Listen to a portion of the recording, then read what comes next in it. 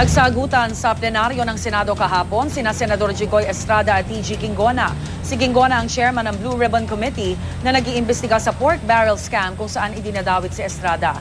Sinagot ni Kingona ang batikos ni Estrada na hinuhusgahan umano agad niya si Estrada kahit hindi pa tapos ang investigasyon.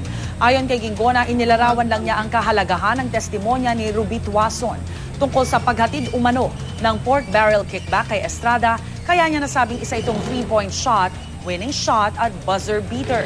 Tanong na Estrada, paano nakasisiguro si Gingona na hindi nagsisinungaling si Tuason? Sinuspende ang sesyon ng nagkakainitan na ang dalawang mambabatas. The uh, affidavit of Mrs. Tuason was practically empty.